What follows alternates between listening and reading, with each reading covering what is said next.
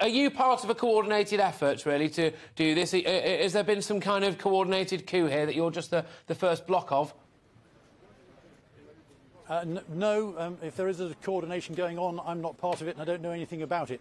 I was actually reading with interest some of the stuff which has been circulated apparently over the weekend by the pro and anti camps. None of them sent any of it to me.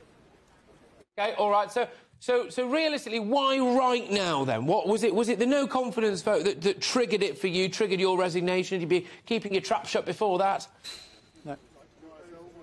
Yeah, the. Um, the, the reason I, I, actually wrote the letter yesterday before right. I knew that there was going to be a no confidence vote today, and the reason why was because um, uh, middle of last week, before the, Her Majesty's uh, Platinum Jubilee celebrations got underway, the Prime Minister responded for the first time to the Sue Gray report in terms of its effect on the ministerial code.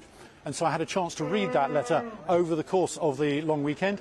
Um, and I'm afraid what it shows is that the Sue Gray report shows very, very clearly that, uh, that the Prime yeah. Minister you know, had ma major failings of leadership.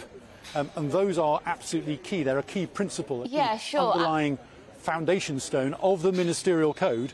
And it means that if you've not adhere to those, you've basically yeah. broken the ministerial code. That's what the Sue Gray report is saying. I do, and therefore, yeah, I do understand that. Code, you've got to resign. Yeah, I do understand that, but I do have to admit what the, the justification you're giving seems to be relying on what is uh, technicalities, basically. Yes, they're, they're, justified, as you mentioned there. The, there are the Nolan principles, and in your opinion, he's shown to have broken those.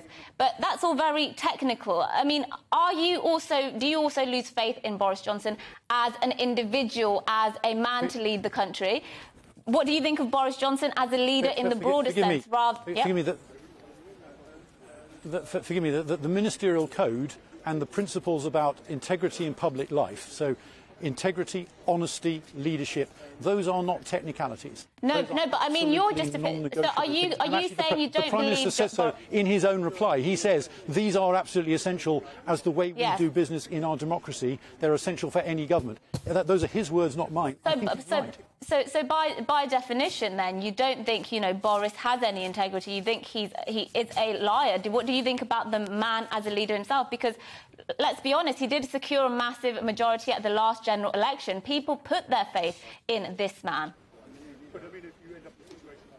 So I'm, I'm making a broader me, po point. What I'm saying is very straightforwardly and very simply, um, he's broken the ministerial code um, and in, in, a serious and mater material way, and that is historically, traditionally, and rightly a resignation matter for him, and it has to be a resignation matter for me too.